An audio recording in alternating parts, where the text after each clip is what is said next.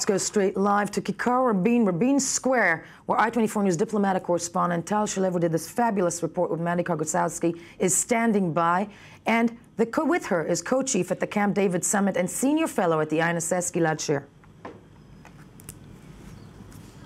Well, yes, Yael, we were speaking of hope for peace. Well, against the, well, not against, there is a strong notion that uh, Rabin's assassination killed the peace process, but actually the peace process continued. It was stalled under uh, Rabin's predecessor, Benjamin Netanyahu, but when Ehud Barak came into power in 1999, negotiations with the Palestinians were renewed uh, in full power. And as you said, we're joined by uh, Gilead Sher, who was the chief negotiator at uh, Camp David. Gilead, at the end of the negotiations at Camp David, when they collapsed, the Israeli Prime Minister Ehud Barak came back to Israel and he said, um, there is no partner at this point for a peace agreement. So, in your opinion, what was the what was the case? Why don't we have a, a process today? Was it Rabin's assassination, or was it the fact that there, in, in, in fact there was no Palestinian partner?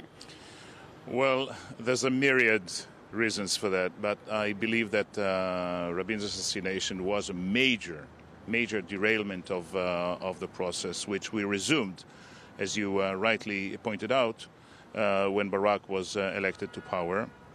When we came back from Camp David, indeed, Barak said there's no partner for the entire end of conflict core issue resol- resolution uh, at this point in time.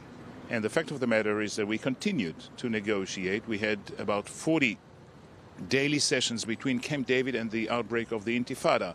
And then a couple of months later, we had the Clinton parameters, which up until uh, those very days um, is a very valid plan for ending the conflict.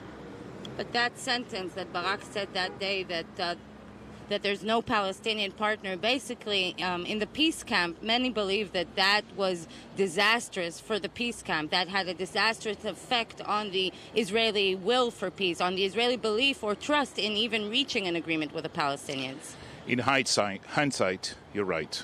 I, uh, I agree. However, uh, we continued to negotiate, and the negotiation uh, again resumed in the Annapolis process eight years later during uh, Olmert's uh, premiership.